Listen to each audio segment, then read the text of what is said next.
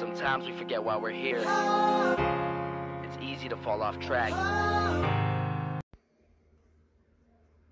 I've come to check on you. But nobody's told me you haven't been leaving your cell to wash and eat for 13 days. Is this true? Humans, always so fragile.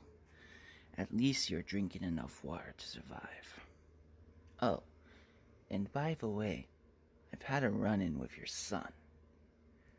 He's joined other Keyblade wielders. Just thought I'd let you know. So you finally speak. Don't worry, you'll see him again, but it will be your nobody.